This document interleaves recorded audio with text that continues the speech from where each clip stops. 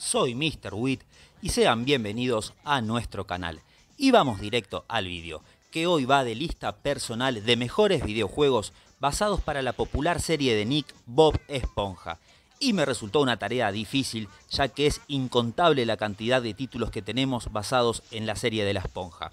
Ya sabemos que la misma fue creada por el biólogo marino Stephen Hillenburg. Fue un mega éxito en todo el mundo y tuvo su momento de gloria hasta que Nick la fregó y la cosa cambió para mal. Pero vamos a lo que importa y es mi lista de mejores, que arranca con Bob Esponja, luces, cámara, pantalones. Fue lanzado en 2005 para GameCube, PlayStation 2, Xbox y Game Boy Advance. Se trata de una competencia muy divertida donde los seis personajes principales de la serie deberán competir en diferentes minijuegos y escenarios, con el objetivo de sumar puntos y así obtener el papel de villano en la nueva película de Sirenoman que ya sabemos es el ídolo de Patricio y Bob. Los escenarios, bueno, van desde el crustáceo cascarudo hasta la escuela de manejo. Son ocho en total.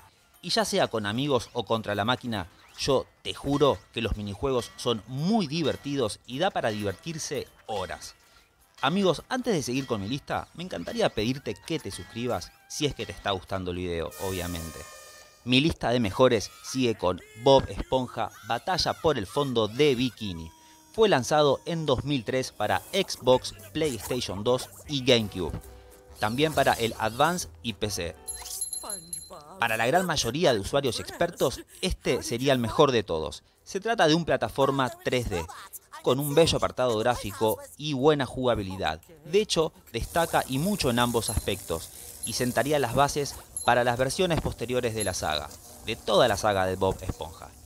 Te engancha, pero rapidísimo. Como novedad podemos elegir jugar con Arenita, que por primera vez deja de tener movimientos genéricos para tener los propios.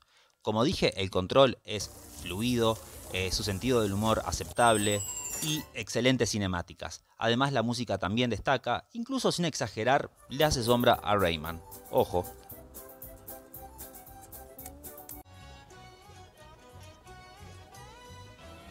Nuestra lista no termina porque en ella aparece Bob Esponja y la criatura del crustáceo cascarudo para mí el mejor de los tres, lanzado en 2006 para PlayStation 2 y GameCube. Es una plataforma 3D que se aleja de todo lo antes visto en la saga, con un estilo que va más de cómic y niveles inspirados en la serie, obviamente. Lo mejor está en su jugabilidad, ya que nos viaja a la cabeza con desafíos, por ejemplo, contra reloj, exploración, viajes al espacio, hamburguesas que te persiguen y su música. Todo es distinto en este título.